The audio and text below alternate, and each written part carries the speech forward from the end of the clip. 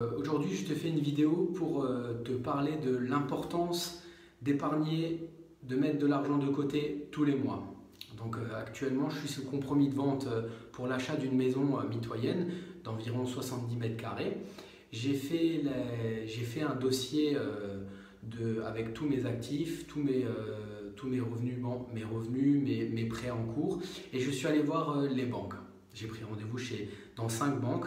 Donc il faut au minimum faire 5 banques, minimum, minimum faire 5 banques. Donc je suis allé dans deux banques où j'avais mes comptes bancaires, plus trois autres nouvelles banques. Donc ce matin, j'ai reçu les retours euh, d'offres de, de prêts, euh, de simulation de prêts en fait. Euh, les deux banques où je suis domicilié ont tout de suite accepté. et les trois autres banques, j'ai eu deux retours positifs et j'attends encore un retour.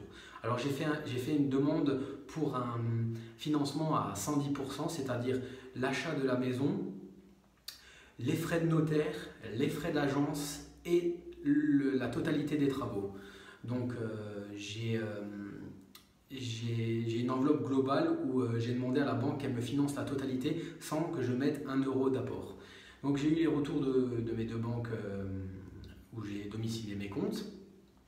Donc environ, une, ça dépend des banques en fait, mais euh, une m'a demandé un minimum de 5% d'apport. Euh, sinon, il transférait mon dossier aux engagements, c'est-à-dire que mon dossier sortait de l'agence et, euh, et, allait, la décision n'allait plus être prise en agence, mais elle allait être prise au-dessus avec des gens qui ne connaissaient pas, qui, avaient juste les chiffres et il n'y avait pas ce côté humain que j'ai avec mon banquier. Donc j'ai accepté euh, les 5% euh, d'apport pour que mon dossier reste en agence. Et l'autre banque m'a rien demandé, m'a dit ok, je vais, la banquière m'a dit ok, je vais, je, vais faire le, je vais faire la simulation. Donc j'ai eu euh, tous les deux deux offres, maintenant j'ai plus qu'à choisir. J'ai à comparer les taux, c'est pas les mêmes taux, les frais bancaires sont pas les mêmes. Il y en a un, il a inclus les, frais de remboursement anticipé et pas l'autre. Donc voilà. Et cette vidéo, en fait, je te la fais parce que les deux banquiers m'ont dit la même chose. Ils m'ont dit, monsieur, vous avez de l'argent de côté, euh, vous nous prouvez à quel point vous, arrivez à mettre de l'argent de côté. Donc cette vidéo, c'était vraiment pour te parler de l'importance d'épargner de l'argent tous les mois. Si un jour, toi, tu veux investir dans l'immobilier locatif, si un jour tu veux vraiment te lancer, il faut que tu prouves aux banquiers que tu es capable de mettre de l'argent de côté.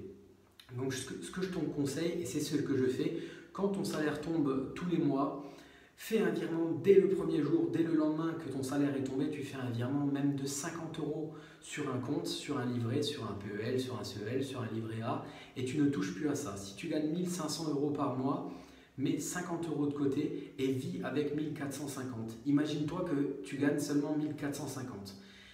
Oblige-toi à faire ça tous les mois et le jour où tu vas voir le banquier avec tes relevés de compte, il voit que tu es capable de mettre de l'argent de côté et là, dans sa tête, tu prouves déjà que tu es capable d'épargner. Donc voilà, c'était vraiment une petite vidéo pour te dire euh, l'importance du fait d'épargner, de mettre de l'argent de côté. Si j'avais pas fait ça, si j'avais pas prouvé au banquier que moi je pouvais mettre de l'argent tous les mois de côté, je sais pas si j'avais, si, si, ça serait aussi facile pour moi à l'heure actuelle d'avoir un prêt.